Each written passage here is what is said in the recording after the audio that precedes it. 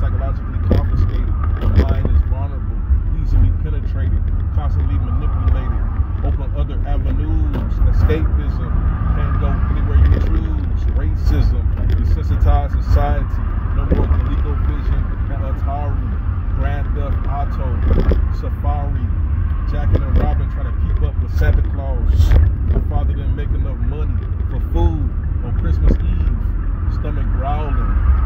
Watching reruns of Diff'rent Strokes.